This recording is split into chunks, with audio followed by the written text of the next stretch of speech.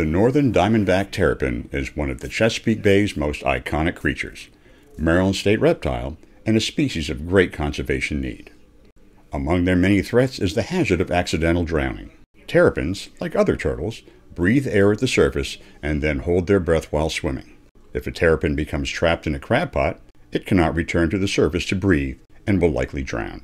To combat this threat, waterfront property owners using licensed crab pots are required by law to outfit their pots with bycatch reduction devices, also known as turtle excluders. These devices are inexpensive and available at nearly any tackle shop.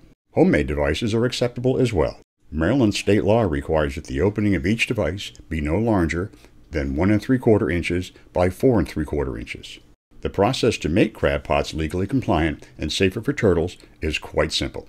Just attach a bycatch reduction device at each entry funnel. You can easily do so with wire, hog rings, or even plastic zip ties. Once firmly attached, the devices will help to prevent terrapins from entering the crab pot, but crabs can still easily get in.